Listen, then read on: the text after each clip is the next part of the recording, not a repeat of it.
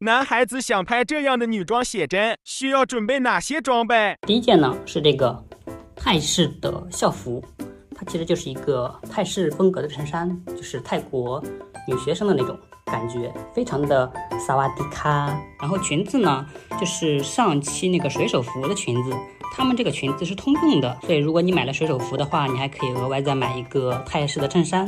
他们俩都是可以更换上衣，就可以变成不同的风格，一个是日式，一个是泰式。然后第二件就是假胸内衣，这个假胸内衣是硅胶垫款的假胸内衣。如果你觉得硅胶垫款的假胸内衣比较热的话，那么你也可以选择那个海绵垫的、乳胶垫的假胸内衣都可以。你可以把这个胸垫给它抽出来，更换成海绵垫或者乳胶垫，这个还是非常不错的，建议大家人手一个。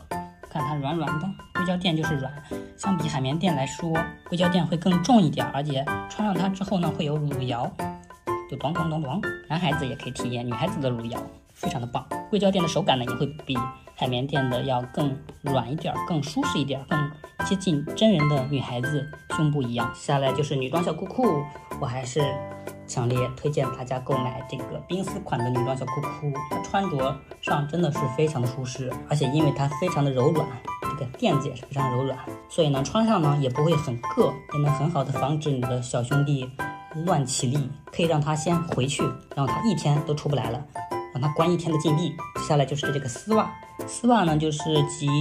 呃，美肤遮瑕，还能稍微隐藏一下腿部比较粗的血管于一体的存在，而且穿上它真的很爽。我知道有很多男孩子在女装之前肯定会偷偷穿过丝袜，藏在裤子里穿这种丝袜。我为什么会知道呢？因为我也是这样过来的。没有穿过丝袜的你可能不了解，没有感受过这种感觉。等你穿过一次，你就。脱不下来了，你真的，你就会开始尝试各种各样的丝袜。像我自己的衣柜里，丝袜都好几百条了。所以我觉得大家如果想体验的话，可以从丝袜开始。然后接下来我搭配的袜子呢是这种蕾丝花边短袜。我觉得这套校服搭配这个蕾丝短袜会更合适一点，所以我就搭配这个袜子了。当然，如果你们喜欢小腿袜的话，也可以搭配，这个要看自己啦。然后这就是最后的鞋子，大概就是这个样子了。